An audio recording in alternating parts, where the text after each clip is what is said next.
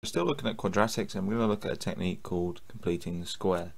So the idea of this is to write this into some sort of form where we have a bracket with a square on it and then some additional term on the end. And the reason this is useful is because it can really help us solve these equations because we get rid of having this x squared and, a 4x uh, which makes it and when I say these equations I mean when we set these equal to something else on the other side these are just expressions for now um, but yeah we just have an terms involving x inside a square and then when we take square roots and stuff we can actually just solve for x directly.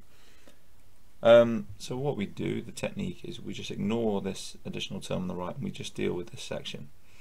And we half the x coefficient so we open up some brackets we write x plus and then we half this coefficient and we square it. Okay but if we expand this out we get x squared plus 4x but then plus 4 and we don't have a plus 4 in this section. Remember we're ignoring this 9 for now. So we take the 4 off okay? And then we still have our plus 9 so this bit here is equal to this bit okay? They're the same.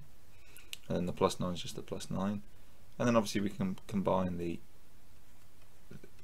the plus 9 and the minus 4 um, and we just get plus 5 okay? And that is the complete the square form. So hopefully that makes sense. We'll do one more example. Negative sign doesn't change the technique. We half that coefficient.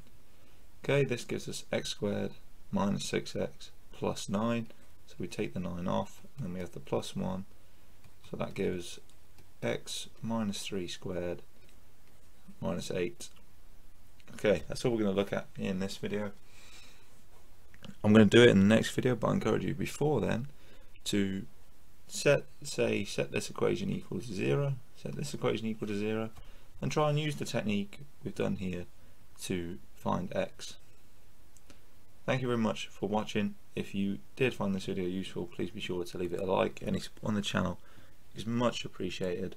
Uh, subscribe for more math tutorials. See you in the next one and have a great day.